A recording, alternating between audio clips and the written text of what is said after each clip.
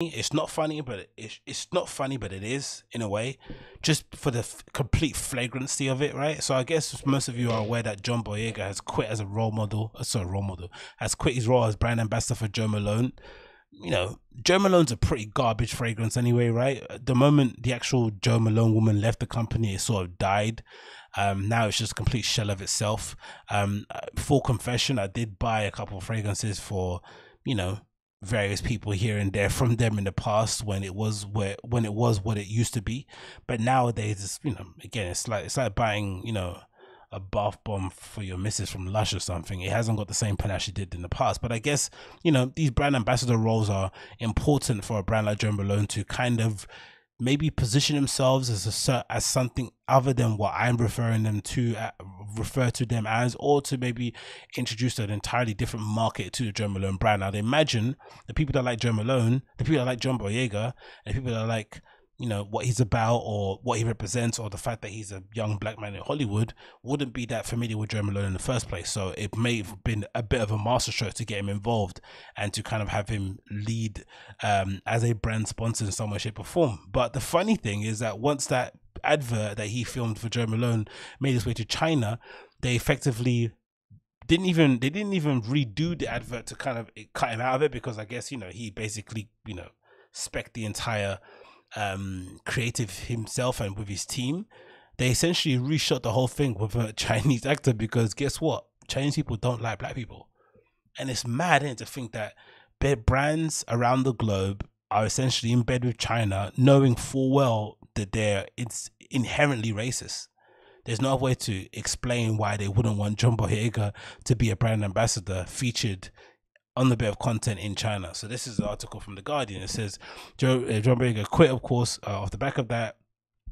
It says John Boyega has resigned from his role as a brand ambassador for the British cologne company Jo Malone following the news that he was cut out of the Chinese version of a commercial that he had con- conceived. He wasn't cut out of it. He was completely you know, it, it, was like it didn't happen. They, they basically used his original um, advert as basically inspiration for what they were going to do, or just you know, it's just it's it's hilarious. Here's the video of it. Someone actually posted on Twitter.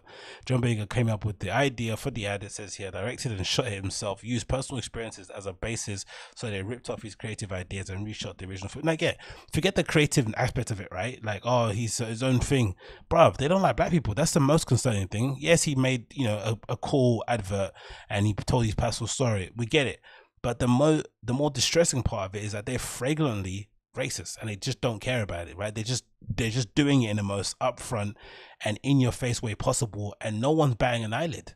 No one's demanding certain brands to boycott China to do this and that, right? Didn't he? Didn't he get um parred off on the Star Wars poster too. They they kind of minimized his face or something, or made his made him smaller. Basically, made him unlegible. You couldn't even see he was in the in the movie if you if you didn't have glasses or you, you weren't up close to it. He didn't squint. So they have history of us, and brands still don't care. They still they still want those Chinese bucks. Um, they don't do any pushback.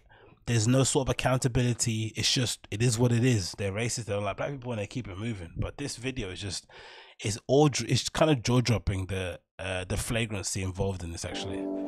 So I guess it's John Boyega's video playing on the left and a video from uh, what some random agency in China that decided to reshoot the entire thing for Jo Malone.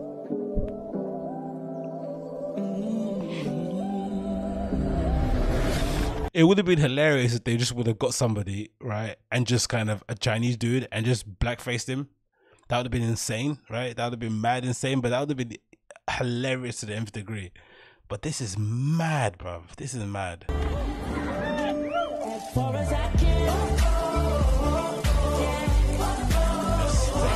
music out before I get copyright strike, but look at this. The whole entire video is just ripped and reshot. They didn't even try to pretend to do it in a sly way. It kind of reminds me of that Melania Trump. Um, what's her name? Was that was that her name? Melania Trump, whatever her name. Melania when she did that speech that she completely ripped off of uh, um, Michelle Obama. What happened with that anyway? Did she get? Did she admit that she did wrong, or it's just it kind of just got swept under the rug? But look at this, man. It's just mad anyway to see how flagrant they are with it. I I, I really have no words. And again, it's just funny the how people pick and choose their outrage in it about what they're kind of upset about. You know, Jo Malone or China has effectively said, "Hey, we don't care about the black experience. We don't want none of that shit in our country whatsoever. And if you try and fuck around with us, we're gonna pull all our money from your industries." And you know, the companies are like, "No, no, no, no. We'll take him off. We'll take him off. Take him off. Take him off." Like Jo Malone didn't even come out and back him. He just had to. He just had to announce he's stepping down from his role as Joe ambassador, as global ambassador for Jo Malone. They didn't even come out their way to try and, you know, say, "Hey, we're standing with you." Blah blah blah. Black Lives Matter. All this sort of stuff. And it's funny because I'd imagine Jo Malone definitely posted out a Blackout Tuesday Square thing, right? I'm sure they did.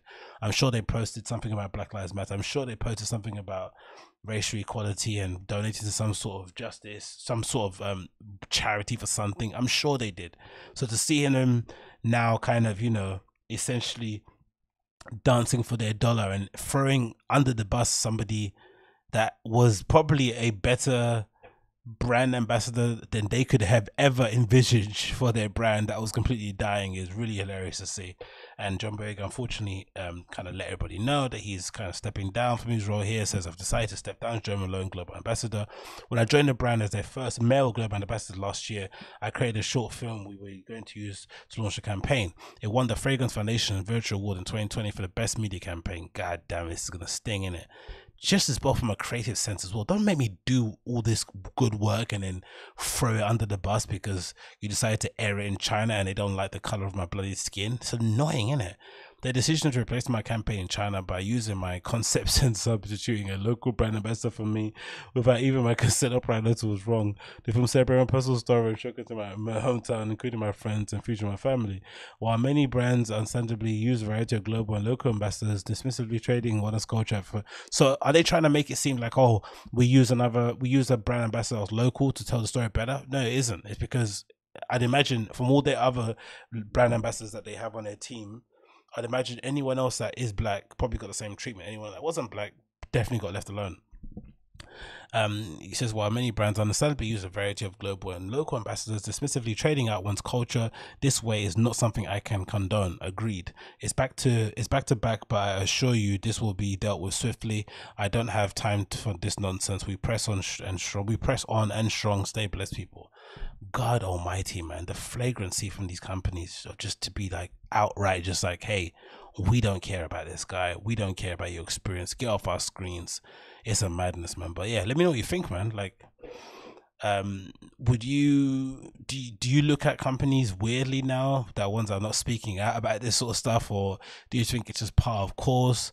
Of course. Do you think um, John Boyega's overreacting? I don't necessarily think he is. I think this is definitely something to uh, speak about openly to kind of get that dialogue started in terms of like what are people's like what are people actually upset about when it comes to China? Like what is the real deal? Like let me know because this is without a doubt like a shocking turn of events um, from what I've seen anyway, man. Joe, like imagine, imagine Jo Malone having a guile to even stand by and let this sort of thing happen anyway in the first place, man. The brand is dead anyway. Like, imagine the absolute hypocrisy of it. It's just mad, isn't it? Like, legitimately, the only reason why anyone's talking about them is because of John, John Boyega and the advert he did. The advert is legitimately good, right? It's actually a really, really good advert. Um, for you know, as, as fragrance adverts goes from a very popular guy, but bloody hell. Um,